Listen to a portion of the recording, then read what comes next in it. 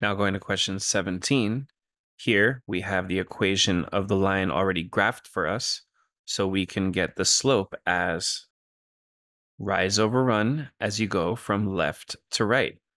Now, when you get the slope as a slope formula, y2 minus y1 over x2 minus x1, now when you use the slope formula to get the slope using y2 minus y1 over x2 minus x1, what you're really doing is you're measuring the rise because the difference between the two y values is how far you moved vertically over the run, which is the difference between the two x values.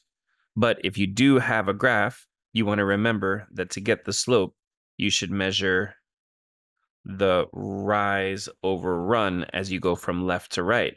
And that'll help you stay on track as far as whether your slope is a positive or a negative one.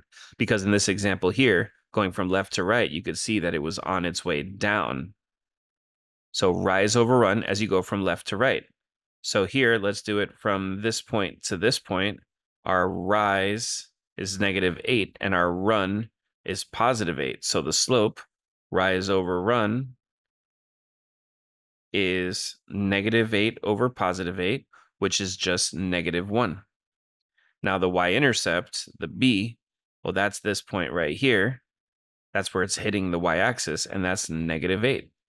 So putting that together as a y equals mx plus b, we have y is negative 1x minus 8. And that matches answer choice C here.